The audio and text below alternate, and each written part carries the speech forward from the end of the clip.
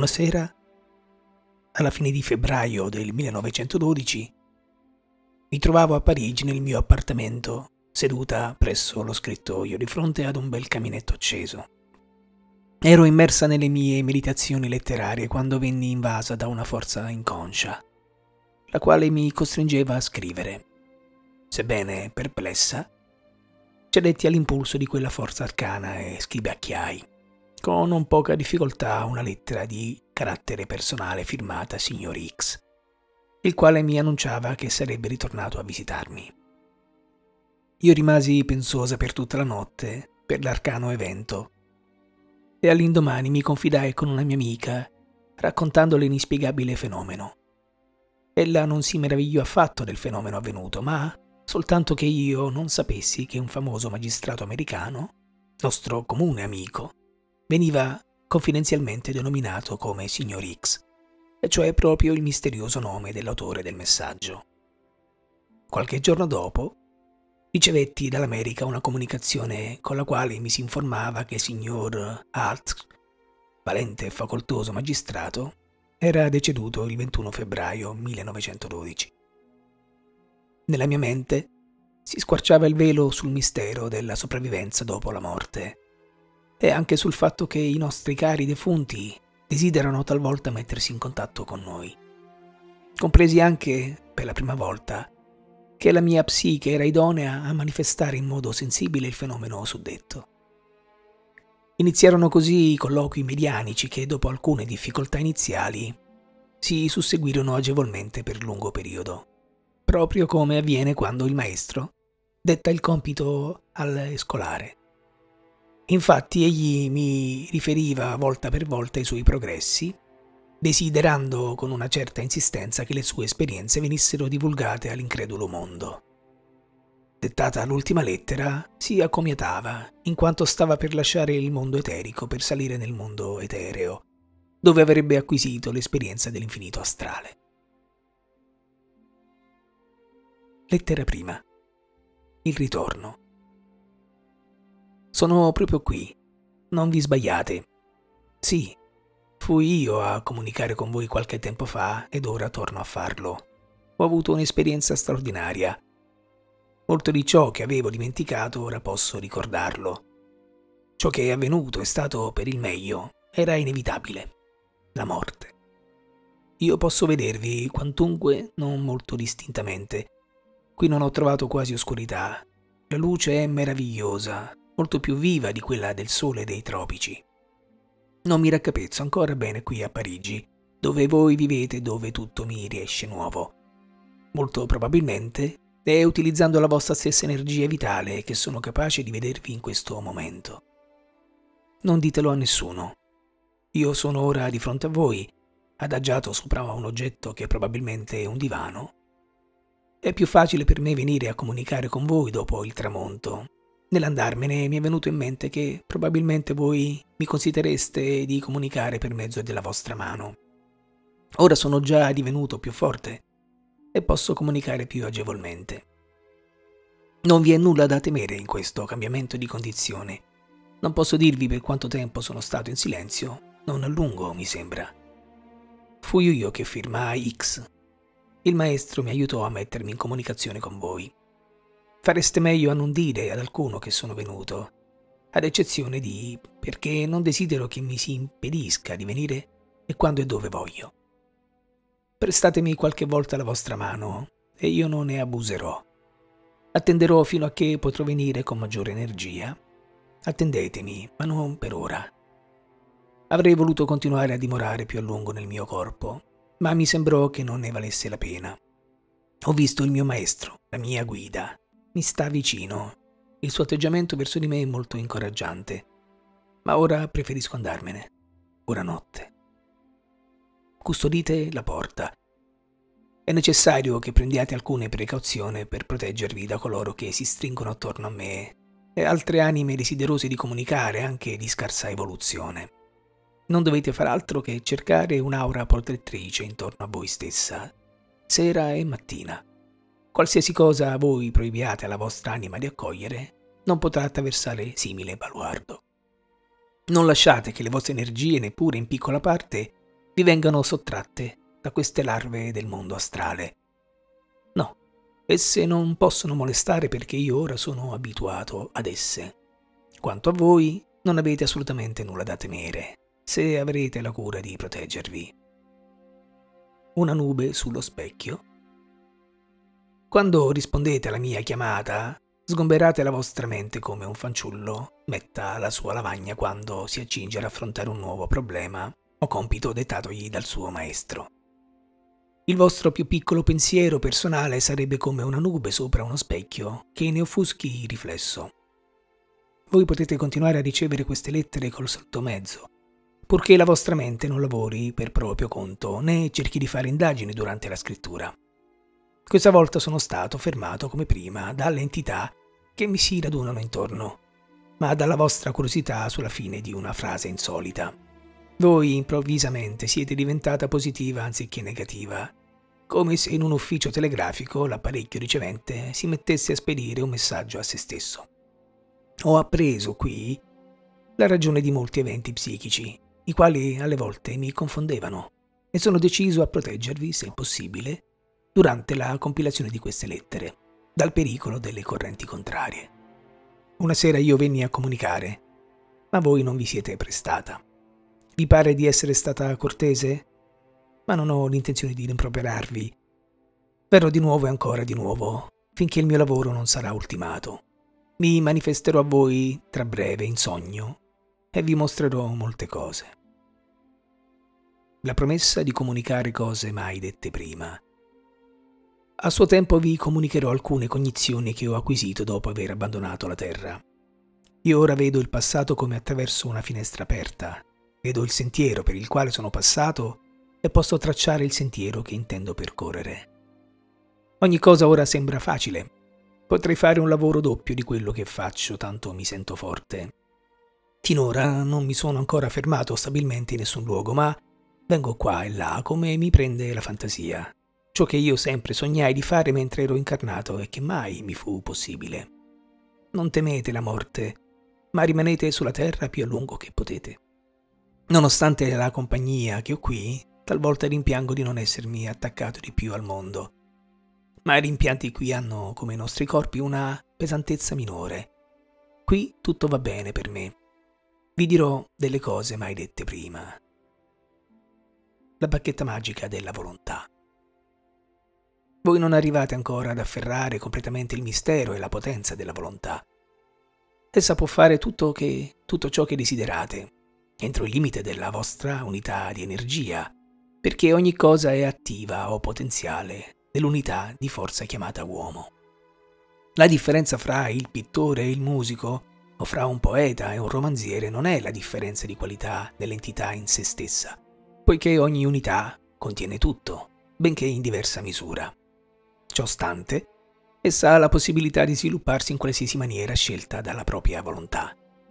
La scelta può essere stata fatta molti secoli addietro, Occorre un lungo tempo, spesso molte esistenze, per sviluppare un'arte o una facoltà per un particolare genere di lavoro, a preferenza di tutti gli altri. Il raccoglimento, la concentrazione sono il segreto del potere, qui come altrove. Riguardo al potere della volontà, nei vostri presenti problemi quotidiani vi sono due vie per adoperarla. Una concentrandosi su uno schema ben definito e portandolo a compimento, più o meno a seconda della quantità di forza che si ha a propria disposizione. L'altra, volendo che il migliore, il più alto e il più saggio piano possibile sia realizzato dalle forze subconscienti in se stessi e negli altri. Quest'ultima linea di condotta dà modo di influenzare tutto l'ambiente per uno scopo particolare, piuttosto che comandare o tentare di comandare parte di esso. In questa comunione fra i due mondi, voi sulla Terra siete inclini a credere che noi qui conosciamo ogni cosa. Voi pretendereste che noi prevedessimo l'avvenire, come gli indovini, e vi tenessimo informati di tutto ciò che avviene o vi vive nell'altro mondo. Qualche volta è vero, possiamo farlo, ma normalmente non possiamo. Fra qualche tempo potrò essere in grado di entrare nella vostra mente come potrebbe farlo un maestro e conoscere tutti i vostri pensieri e progetti, ma ora non sempre ciò mi è possibile. Una notte, per esempio, cercai dappertutto l'amico B e non potei trovarlo. Probabilmente è necessario che vi pensiate fortemente a noi per facilitarci il compiti. Io continuo sempre ad imparare. Il maestro è molto attivo nell'aiutarmi. Quando sarò assolutamente sicuro della mia completa influenza sulla vostra mano, avrò modo di dire sulla vita di quello che voi definite al di là. Una luce dietro il velo. Cercate di aprire uno squarcio nel denso velo di materia che vi separa dai miei occhi. Io vi vedo sovente come uno sprazzo di vivida luce, e ciò avviene probabilmente quando la vostra anima è brillante di emozione, oppure quando la vostra mente si acutizza nel pensiero.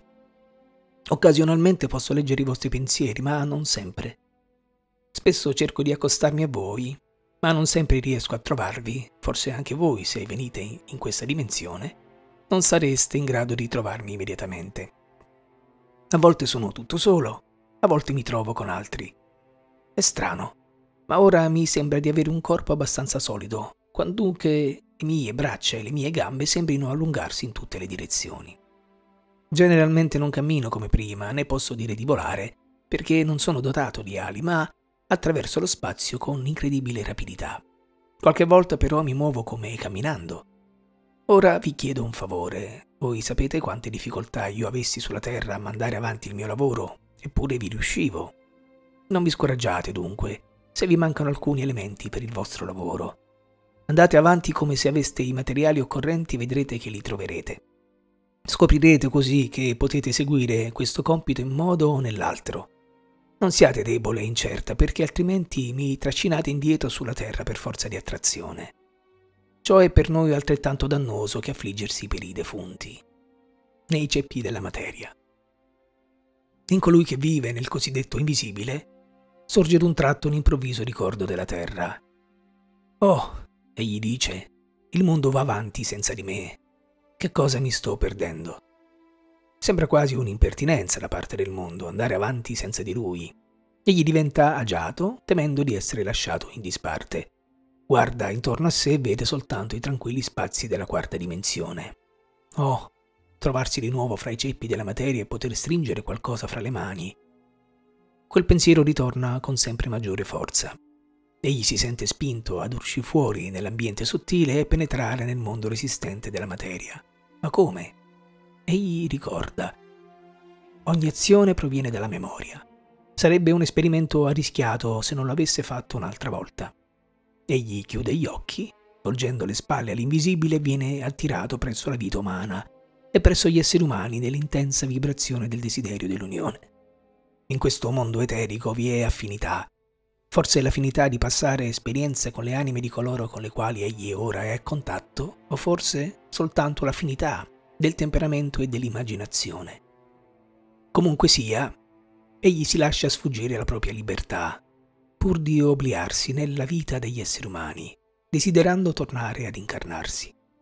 Dopo un certo tempo di veglia, e con occhi attoniti guarda i verdi campi e le concrete solide facce degli uomini e delle donne. Qualche volta piange e desidera tornare indietro. Se egli si scoraggia può ritornare nel nostro mondo per poi ricominciare da capo la faticosa ricerca della materia. Se invece è forte e ostinato, rimane nel vostro mondo e diventa un uomo. Ma egli può anche convincersi, una volta divenuto uomo, che la precedente vita nella sostanza sottile era soltanto un sogno poiché in sogno egli ritorna. Il sogno lo perseguita, ha disturbato il suo godimento di trovarsi nella materia. Dopo anni ed anni egli si stanca della lotta con la materia e la sua energia si esaurisce. Allora cade nuovamente fra le braccia dell'invisibile e gli uomini dicono tra loro sommessamente che è morto. Ma egli non è morto, è soltanto tornato da donde era venuto, dove le anime salgono e scendono. Amica, Nulla vi è da temere dalla morte. Non è una cosa più difficile che fare un viaggio all'estero, come il primo viaggio che dovesse fare una persona già avanti negli anni, schiava delle proprie abitudini e forse costretta ad abbandonarle. Quando un uomo arriva qui, coloro che incontrano gli sembrano più strani di quanto gli possano sembrare sul momento i popoli fra cui si ricasse per la prima volta. Non sempre egli può comprenderli, e anche sotto questo riguardo è proprio come se si trattasse di un soggiorno in un paese straniero. Poi, dopo un po', egli incomincia a farsi animo e a sorridere con gli occhi. La domanda da dove venite provoca la stessa risposta che sulla Terra. Taluno viene dalla California, altri da Boston e altri ancora da Londra.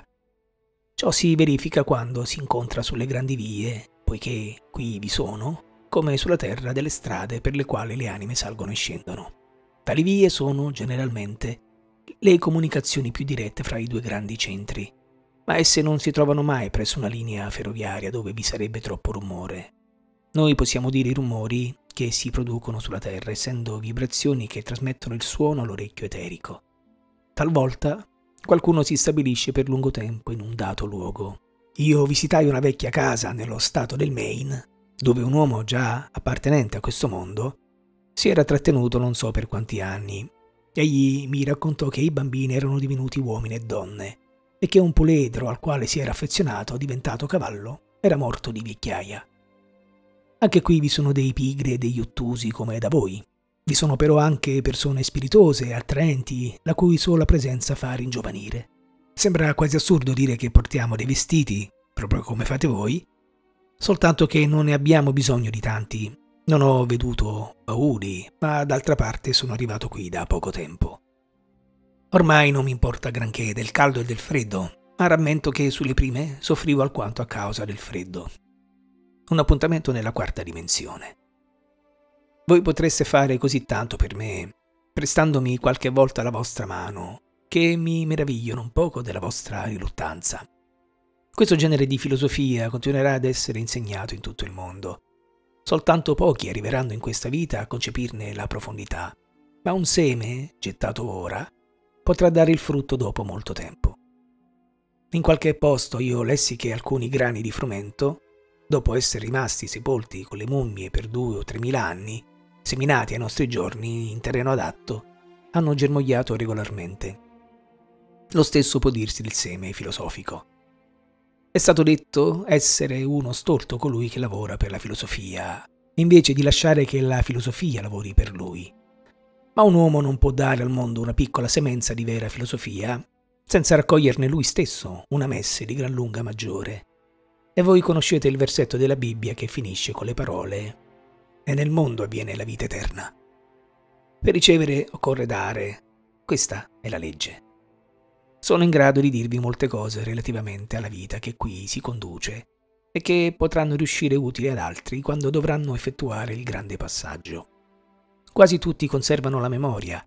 La maggior parte degli uomini e delle donne con cui mi sono trattenuto hanno conservato dei ricordi più o meno vivi della loro vita terrestre.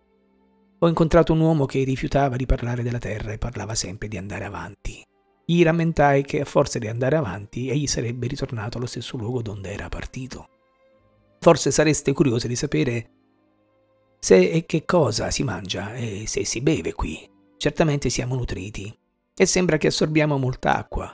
Voi pure dovreste bere molta acqua poiché essa nutre il corpo astrale. Non credo che un corpo molto asciutto possa mai avere una forte vitalità astrale tale da poter prestare la sua mano ad un'entità di questo mondo, come fate voi ora.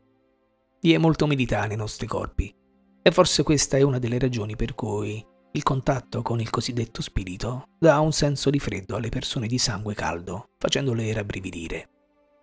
Occorre un certo sforzo da parte mia per scrivere come faccio attualmente, ma mi pare che ne valga la pena. Io mi reco nel luogo dove sento che vi troviate, potendo vedere voi e gli altri. Poi mi ritiro, cioè, invece di immergermi meglio in me stesso come facevo prima, mi spingo fuori con grande forza nella vostra direzione e prendo possesso di voi con grande sforzo propulsivo. Talvolta la scrittura si è fermata nel bel mezzo di una frase, ciò avveniva perché io non ero sufficientemente concentrato. Avete notato che quando vi concentrate e vi isolate dal mondo esterno, basta un rumore improvviso oppure un pensiero vagante per ridurvi a posto Succede lo stesso anche qui. Quanto all'elemento in cui viviamo, senza dubbio esso occupa un posto nello spazio, trovandosi tutto attorno alla Terra. Ogni albero visibile ha la sua controparte invisibile. Quando voi, prima di addormentarvi, venite consciamente in questo mondo, nota questo indubbiamente si riferisce alle mie visioni, vedete cose che realmente esistono o che sono esistite anche nel mondo materiale. In questo mondo non potete vedere nulla che non abbia la sua controparte fisica nell'altro. Vi sono naturalmente forme pensiero e quadri immaginari, ma lo scorgerli in forma di immagine non significa appunto vederli sul piano astrale. Le cose che vedete prima di addormentarvi hanno un'esistenza reale e, variando la vostra intensità di vibrazione, entrate in questo mondo. O, per dir meglio, vi racchiudete in esso, poiché per potervi rendere libera occorre che vi ci rinchiudate. L'immaginazione ha una forza straordinaria. Se voi vi create una figura sulla mente, le variazioni del corpo potranno produrvi all'unisolo con essa. Qualora la volontà sia spinta in quella stessa direzione, ad esempio i pensieri di salute o di malattia. Per fare una prova, sarebbe bene, quando desiderate venire qui animicamente, che sceglieste un simbolo qualsiasi e lo teneste dinanzi agli occhi. Non affermo che ciò possa sicuramente aiutarvi a variare le vibrazioni, ma potrebbero farlo. Ritengo che potreste vedermi qualora, proprio prima di addormentarvi, veniste qua con tale pensiero desiderio dominante nella vostra mente. Sono forte oggi, perché sono stato a lungo con uno che è più forte di me, e se volete tentare l'esperimento di cercarmi questa notte potrò prestarvi maggior aiuto del solito. Vi sarebbe tanto da dire raramente posso parlarvi. Se voi aveste un'altra posizione sociale e foste libera da altri impegni, potrei venire più sovente. Sto imparando molte cose che avrei piacere di comunicarvi, ad esempio ritengo che potrei indicarvi come uscire consciamente dal corpo fisico, come fanno comunemente i maestri. Sulle prime prevedo solo il vostro braccio per scrivere, ma ora mi impossesso meglio della vostra organizzazione psichica. Mi ero accorto che non lavoravo nel modo migliore e che mi era uno spreco di energia, per cui mi rivolsi al maestro per istruzioni. Con questo nuovo metodo voi vi stancherete meno ed io pure. Ora me ne vado. Tra qualche minuto però farò il possibile per incontrarvi. Se l'esperimento non riesce, non scoraggiatevi, ma provate nuovamente un'altra volta. Se riuscite a vedermi, mi riconoscerete certamente. Il ragazzo Lionello. Vi interesserà sapere che anche qui, come sulla Terra, vi sono persone che si dedicano al bene degli altri. Vi è persino una grande associazione di anime, costituitasi in una sorta di confraternita, un gruppo organizzato. Il loro lavoro particolare consiste principalmente nell'aiutare i nuovi arrivati a raccapezzarsi e ad adattarsi alle nuove condizioni.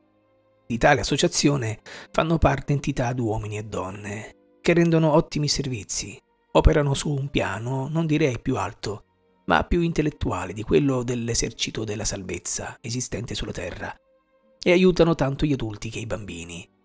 Sono molto interessanti i bambini. Finora non ho avuto il tempo di osservare bene tutte queste cose da me ma un membro del gruppo mi informa che riesce molto più facile ai bambini l'adattarsi al cambiamento di esistenza che non agli adulti.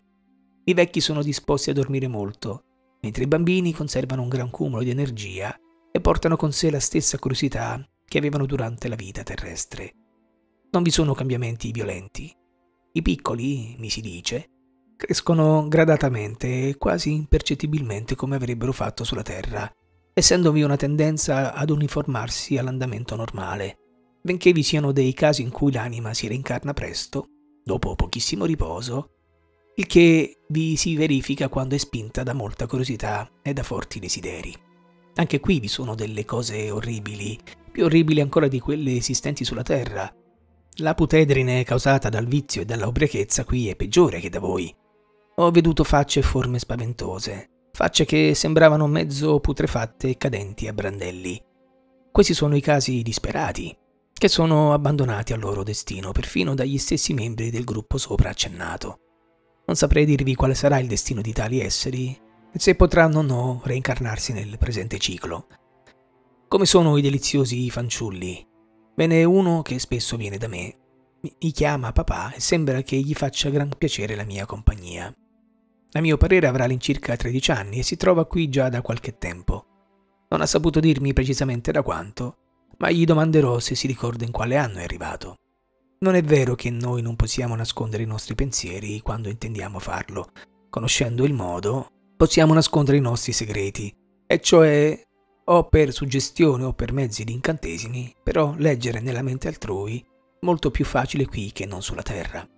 Comunichiamo fra noi all'incirca nello stesso modo come fate voi, ma con l'andar del tempo trovo che sia più facile conversare per mezzo del pensiero proiettato intensamente che non con le parole.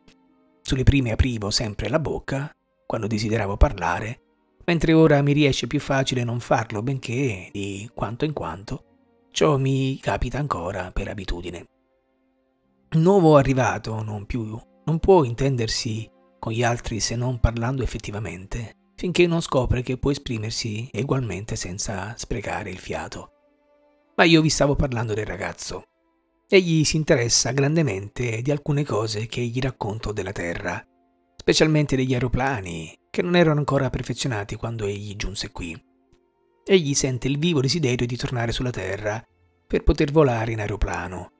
Gli fece osservare che può volare benissimo anche qui, senza bisogno di tale apparecchio, ma ciò non gli sembrava la stessa cosa. Vuole mettere le dita sopra un meccanismo. Io glielo consiglio di non avere troppa fretta a tornare indietro.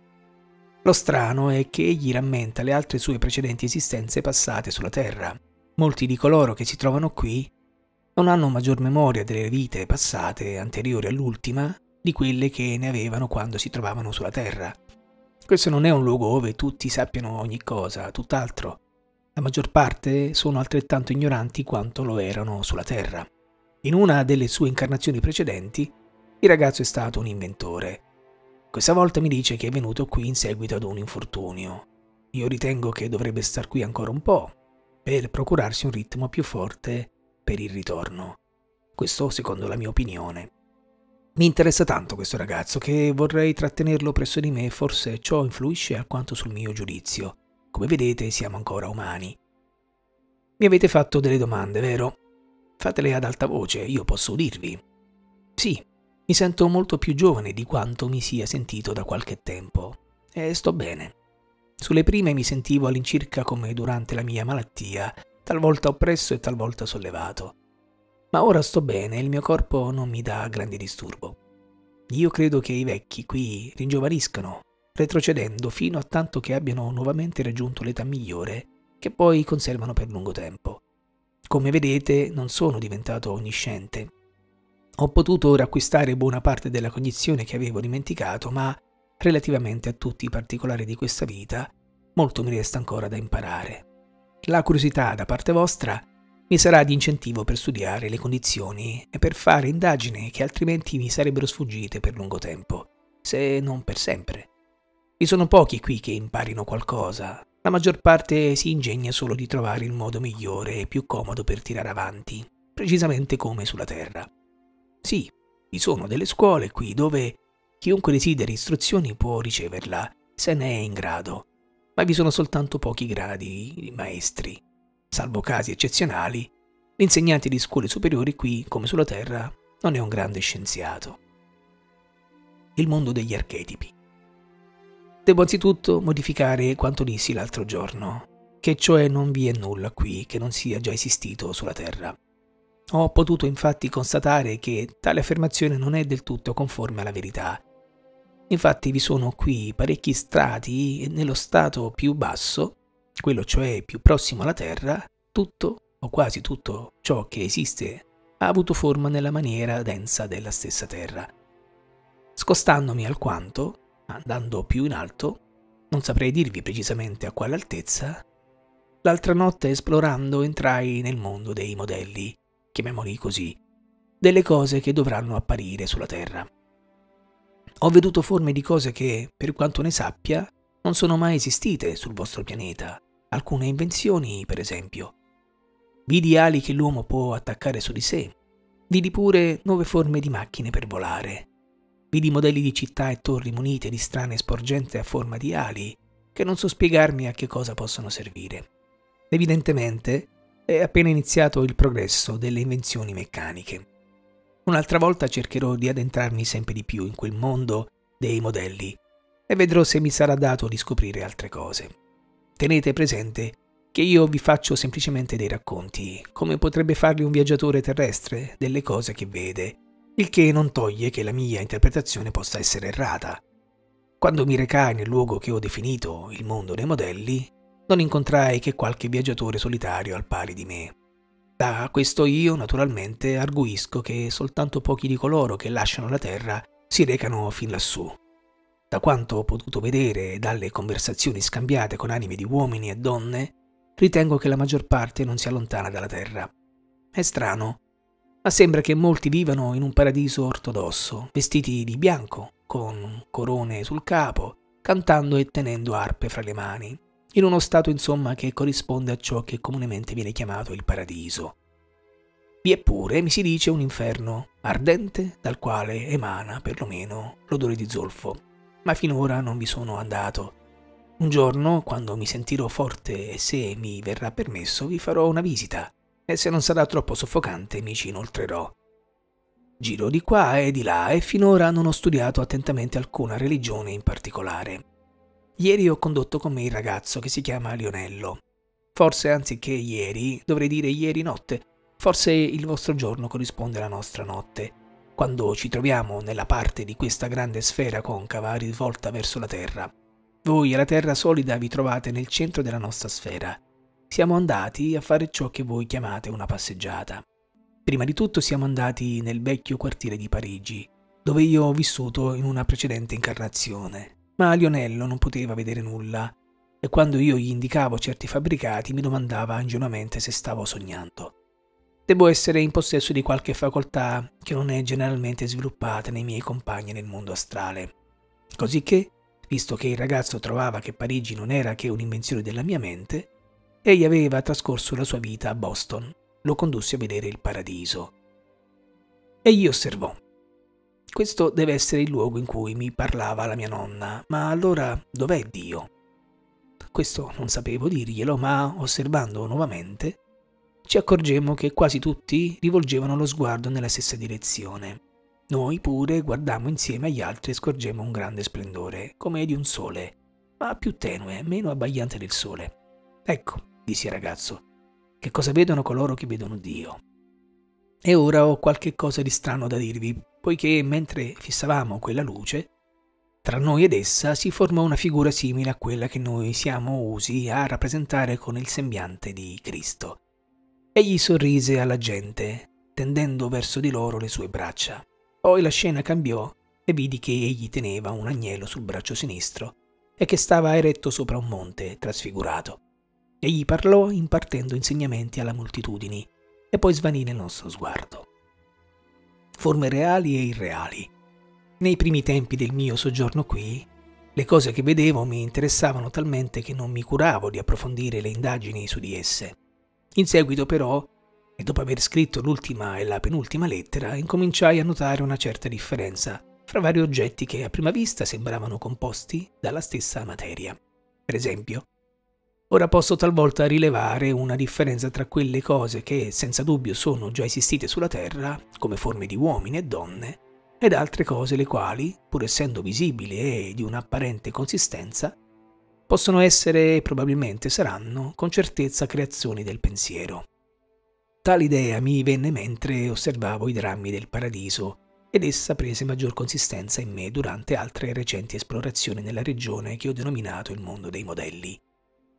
Può darsi che in seguito io possa fare a prima vista la distinzione fra due categorie di oggetti. Ad esempio, se incontro qui un essere o ciò che sembra un'entità, se mi si dice che costui è qualche celebre personaggio da romanzo come Jean Valjean del libro I Miserabili di Victor Hugo, avrò ragione di ritenere che ho veduto una forma pensiero dotata di una quantità di, di vitalità sufficiente per alimentare una vita propria, come se fosse quasi un'entità di questo mondo, di materia sottile. Finora però non ho incontrato alcuno di simili personaggi. Naturalmente, qualora non potessi conversare con un essere o forma, ne vedrei altri farlo. Non potrei asserire che egli abbia un'effettiva o reale esistenza. D'ora in annanzi farò delle controprove in questa maniera. Se mi riuscirà di parlare con un'entità apparente e ottenerne una risposta, avrò ragione di credere che essa sia una realtà. Un personaggio immaginario o qualsiasi altra creazione mentale, per quanto vivido come immagine, non avrebbe anima, né unità di forza, né un sé reale. Cercherò di sottoporre a questa prova qualunque cosa mi si presenterà semplicemente come un'immagine. Se vedendo una forma speciale di albero o animale potrò toccarla e sentirla, poiché i sensi qui sono altrettanto acuti che sulla Terra, allora mi persuaderò che essa esiste realmente nella materia sottile di questo piano. Credo che quasi tutti gli esseri che ho veduto qui sono reali, ma se ne troverò qualcuno che non posso sentire quando lo toccherò con le mani e che non può rispondere alle mie domande, avrò la conferma che le forme pensiero, tanto degli esseri che delle cose, possono avere sufficiente coesione da sembrare reali. Senza dubbio è vero che non vi è spirito senza sostanza, né sostanza senza spirito, latente o manifesto, ma a una certa distanza l'immagine di un individuo può sembrare l'individuo stesso. Possono qui avere esistenza le forme pensiero concepite e create a tale scopo? Io credo di sì. Per una tale forma pensiero però occorrerebbe una forte intensità energetica perché possa persistere nella sua consistenza. Mi sembra però che prima di continuare a parlare di tale argomento farei meglio a rendermene edotto io stesso. In un foglio di Paracelso. L'altro giorno chiesi al mio maestro di mostrarmi gli archivi, qualora esistessero, in cui coloro che qui hanno vissuto hanno registrato le loro osservazioni. Egli disse, Eri un gran lettore di libri sulla terra. Vieni. Entrammo in un vasto edificio simile ad una biblioteca e mi mancò il respiro per la grande meraviglia. Non fu l'architettura dell'edificio che mi colpì, ma la stragrande quantità di libri e fascicoli. Ve ne dovevano essere milioni. Domandai al maestro se tutti i libri erano qui. Egli sorrise e rispose: Non ce n'è abbastanza? Puoi fare la tua scelta. Chiesi se i volumi erano ripartiti a seconda delle varie materie in essi trattate. Sono messi per ordine, mi rispose. Ma che cosa desideri vedere? Rispose che avrei desiderato vedere libri in cui fossero narrate le esplorazioni fatte da altri uomini in questa regione per me finora poco conosciuta. Egli sorrise di nuovo e prese da uno scaffale un grosso volume. Era stampato a grandi caratteri neri. Chi ha scritto questo libro? domandai. Di è la firma, egli replicò. Guardai nell'ultima pagina e vidi infatti una firma. Era quella di Paracelso. Quando l'ha scritto? Poco dopo essere giunto qui, l'infolio fu scritto dopo il suo trapasso dalla terra, dopo un'incarnazione durante la quale portava il nome di Paracelso, giacché in seguito si incarnò di nuovo con altro nome. Il libro che io avevo esaminato era un trattato sugli spiriti umani, angelici ed elementali. Esso comincia con il definire lo spirito umano come uno spirito il quale abbia avuto esperienza di vita in forma umana. Lo spirito elementale come uno spirito di più o meno sviluppata autocoscienza che ancora non ha avuto la cosiddetta esperienza di vita in forma umana. E infine l'angelo come uno spirito di ordine elevato il quale non aveva avuto e anzi probabilmente mai avrebbe avuto una simile esperienza nella materia fisica. Proseguendo, afferma che gli spiriti angelici erano divisi in due gruppi ben distinti, il celestiale e l'infernale, il primo formato da quegli angeli che lavorano in armonia con le leggi divine e gli altri che lavorano in senso contrario. Ma soggiungeva che entrambe queste categorie di angeli erano necessarie le une e le altre, poiché se tutto fosse stato perfetto, l'universo avrebbe cessato di esistere. Lo stesso bene cesserebbe di esistere se la mancanza del suo opposto, il male. Soggiungeva che negli archivi delle regioni angeliche erano registrati casi in cui un angelo buono era divenuto cattivo e uno cattivo divenuto buono, ma simili casi si erano avverati raramente. Egli allora raccomandava a coloro che si trovavano nella stessa regione in cui egli si trovava mentre scriveva quanto sopra e alla quale pure io appartenevo, di non mantenere relazioni con lo spirito del male. Affermava che nella vita astrale vi erano maggiori tentazioni che non nella vita terrestre che egli stesso era stato sovente assalito da angeli maligni che lo eccitavano a unirsi a loro e che gli argomenti che essi adducevano erano estremamente convincenti.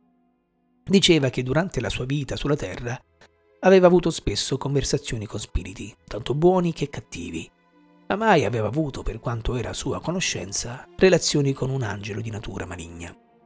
Avvertiva i suoi lettori che vi è un mezzo per distinguere se un essere del mondo astrale sia un angelo o soltanto uno spirito umano, oppure un elementale, cioè per mezzo del maggior splendore della luce che circonda un angelo.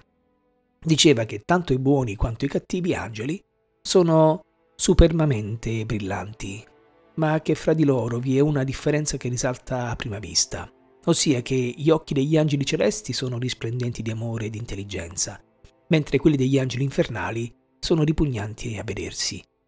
Diceva poi che ad un angelo infernale è possibile trasformarsi ed apparire agli occhi di un mortale come un angelo di luce e quindi ingannarlo, ma che è impossibile per un angelo in genere nascondere la propria natura verso quelle anime che vivono nel corpo eterico. Forse dirò di più in questo argomento un'altra volta. Ora ho bisogno di riposare. Una toga romana. Ciò che rende tanto interessante per me questo mondo è la mancanza di convenzionalismi, non vi sono due persone vestite nell'identico modo, o per meglio dire, molti sono vestiti in maniera così eccentrica che la loro presenza rende l'insieme molto vario. I miei abiti sono ordinariamente simili a quelli che portavo sulla Terra, quantunque vi si dia il caso che, quando concentro il mio pensiero su una delle tante vite trascorse sulla Terra, io indossi, a semplice titolo di prova, gli abiti che usavo in quelle epoche. È facile qui avere i vestiti che si desiderano, ma non so come, mi sono ritrovato in possesso degli abiti che portavo al mio arrivo in queste regioni. Però, quando incominciai a informarmi su queste cose, mi trovai abbigliato all'incirca come al solito, per quanto non sia ancora ben sicuro di aver portato i miei abiti con me. Vi sono molti qui che indossano costumi di tempi antichi. Non intendo con ciò affermare che essi dimorino qui da quelle lontane epoche, ma credo che indossino tali vestiti perché ciò riesce di loro gradimento. Normalmente la maggior parte delle persone stanno vicino alle località in cui vissero sulla Terra. Io però sono stato un girovago fin dal principio. Mi reco con la massima rapidità da un luogo all'altro. Una notte o un giorno per voi, io posso fermarmi in America e la notte successiva trovarmi a Parigi. Ho trascorso ore di riposo sul divano del vostro salotto e voi non avete mai notato la mia presenza. Non crediate tuttavia da ciò che ho ora detto che per me sia necessario avere delle materie solida su cui potermi riposare. Niente affatto. Noi invece possiamo riposare nella sostanza astrale del nostro mondo. Un giorno, poco tempo dopo essere giunto qui, vidi una donna vestita in costume greco e le domandai dove lo avesse preso. Mi risposi di averlo fatto essa stessa. Le chiesi come ed ella rispose: Ecco, Formo prima un modello col mio pensiero e allora esso diventa un vestito. E l'avete cucito punto a punto? No, non come avrei fatto sulla terra. Guardai attentamente e notai che l'intero vestito sembrava tagliato in un sol pezzo e che era fermato sulle spalle da gioielli forgiati ad uso fermaio.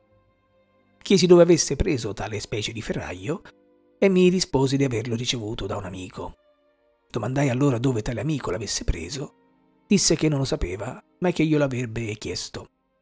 Poco dopo ella mi lasciò e da allora in poi non l'ho più riveduta, così che la mia domanda è rimasta finora senza risposta. Incominciai pertanto a fare delle prove per vedere se anch'io fossi riuscito a fare dei vestiti. Fu allora che concepì l'idea di indossare una toga romana, ma in fede mia non riuscivo a ricordarmi come fosse fatta una toga romana. Quando però in seguito incontrai il maestro, e gli espressi il desiderio di portare una toga fatta da me, egli mi insegnò con molta precisione come creare un abito forgiato come desideravo.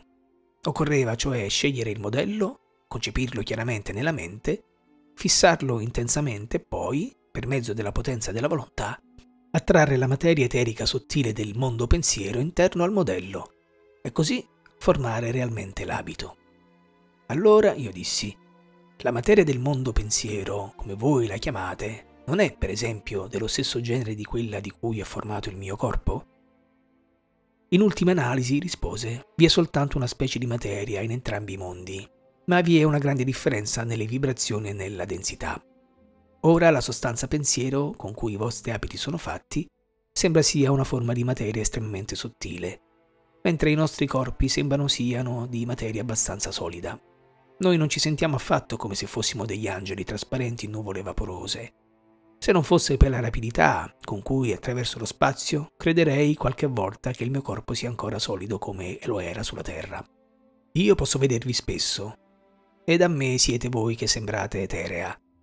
È sempre la vecchia questione, suppongo, di sapersi adattare all'ambiente.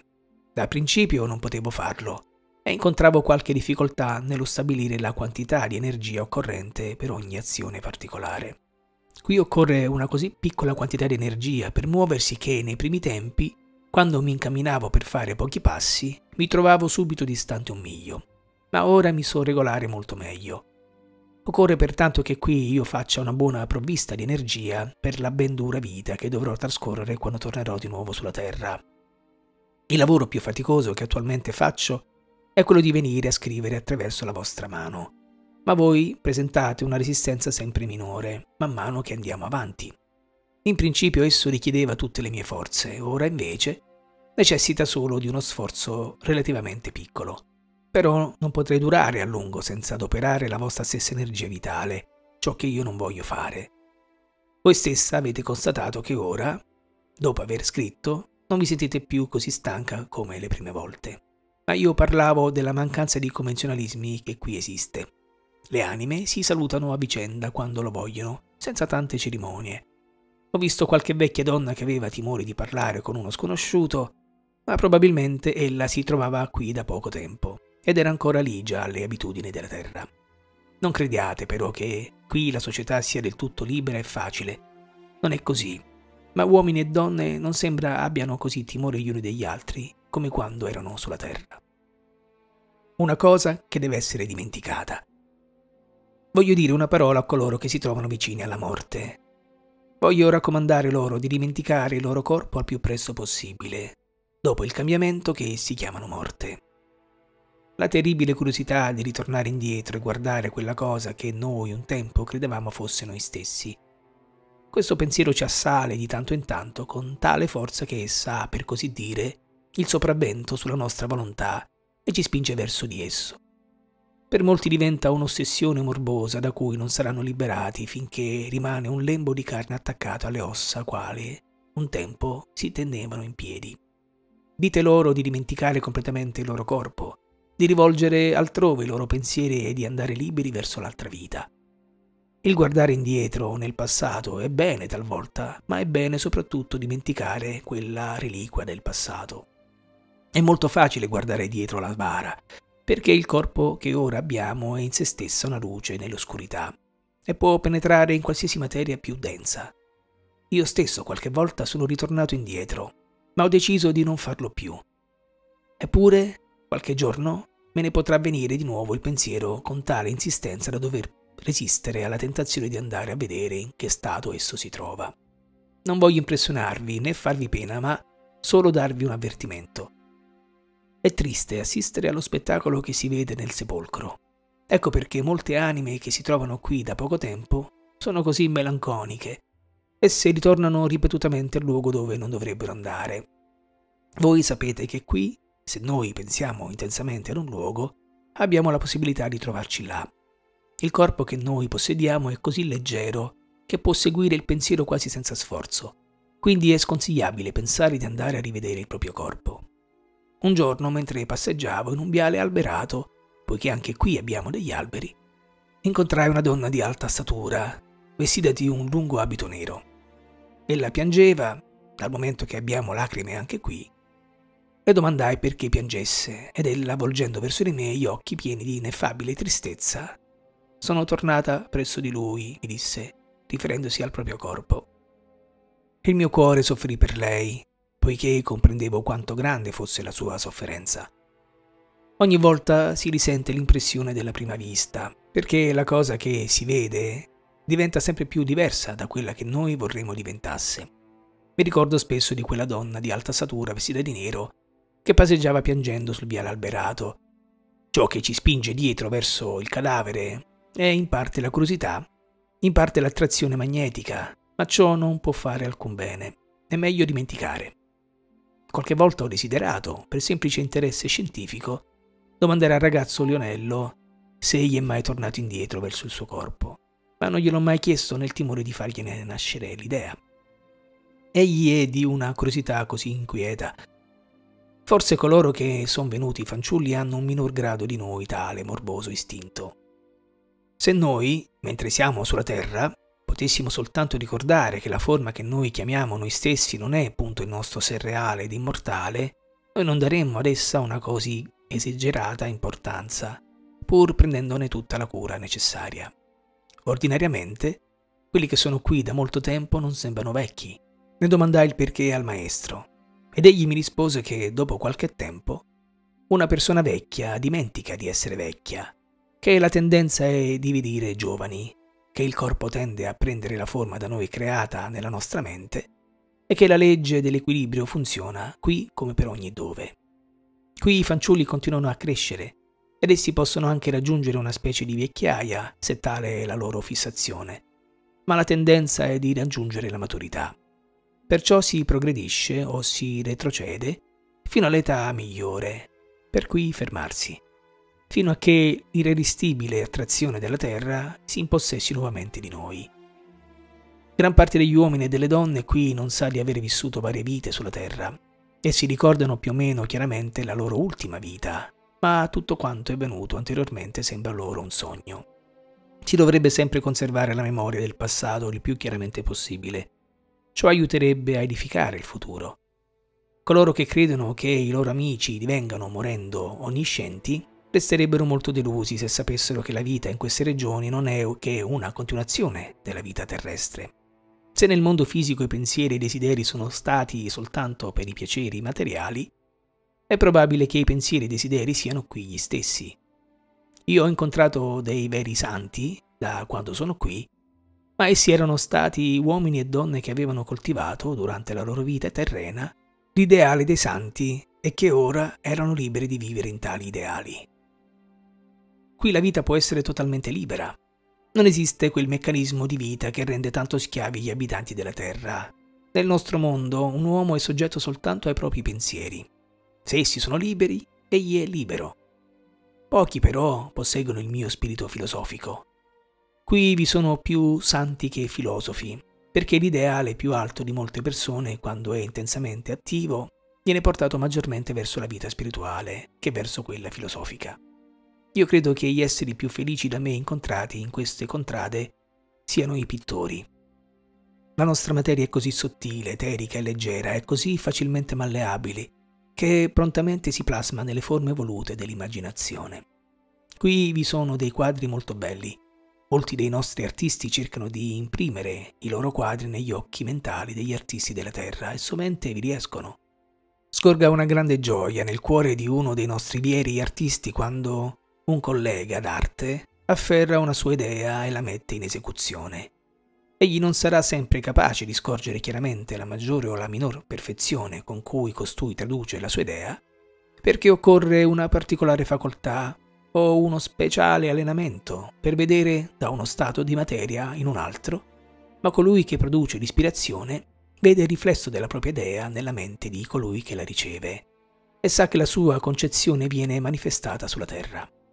Coi poeti avviene la stessa cosa. Vi sono delle liriche graziose, le quali vengono composte qui e impresse nelle menti ricettive dei poeti terrestri. Un poeta mi diceva che era più facile produrre tale fatto con una poesia breve, anziché con un poema eroico o con un dramma, i quali richiedono un lungo e prolungato sforzo. Pressappoco lo stesso si verifica con i musicisti. Ogni volta che voi vi recate ad un concerto dove viene eseguita buona musica, vi è probabilmente tutto intorno a voi una folla di spiriti amanti della musica che si inebria di melodia. La musica della terra è molto gradita in quelle regioni ove può essere udita, ma nessun spirito desidera accostarsi a luoghi ove si suona musica grossolana. Noi preferiamo la musica di strumenti a corda. Di tutte le cose terrestri, il suono è quello che più direttamente penetra in questo piano di vita. Ditelo ai musicisti.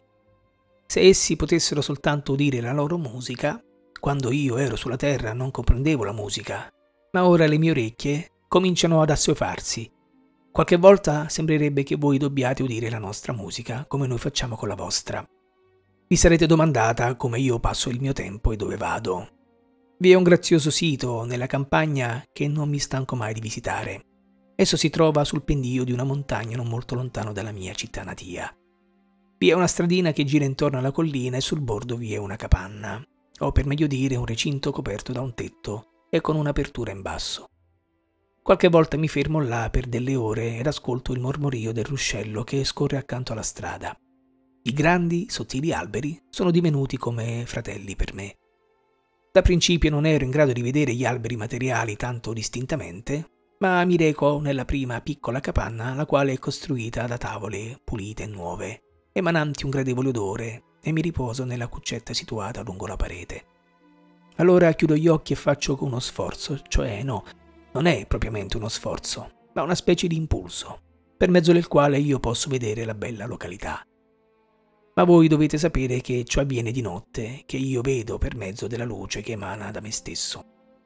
E questo è il motivo per cui noi viaggiamo nelle ore notturne, poiché alla brillante luce del sole noi non possiamo vedere nulla. La nostra luce rimane offuscata da quella più densa del sole. Una notte condussi con me il giovane Lionello, lasciandolo solo nella capanna mentre io mi allontanavo di qualche passo. Voltandomi indietro, vidi tutta la capanna illuminata da un delicato splendore, lo splendore di Lionello. La piccola costruzione del tetto, a punta, Sembrava una perla illuminata dall'interno. Fu un'esperienza molto bella. Allora ritornai presso l'anello e gli dissi di recarsi a sua volta qualche passo lontano, mentre io prendevo posto nella capanna. Ero curioso di sapere se egli avrebbe visto lo stesso fenomeno, cioè se anche io avrei emanato lo stesso splendore attraverso la materia densa, ossia attraverso le tavole di cui era costruita la capanna. Quindi lo chiamai a me e, avendovi domandato se avesse visto nulla di strano, esclamò che uomo meraviglioso che siete, padre. Come avete fatto a far apparire quella capanna come se fosse incendiata? Allora fui convinto che egli aveva visto la stessa cosa che avevo visto io. Ma ora sono stanco e non posso continuare a scrivere. Buonanotte e possiate avere sogni gradevoli.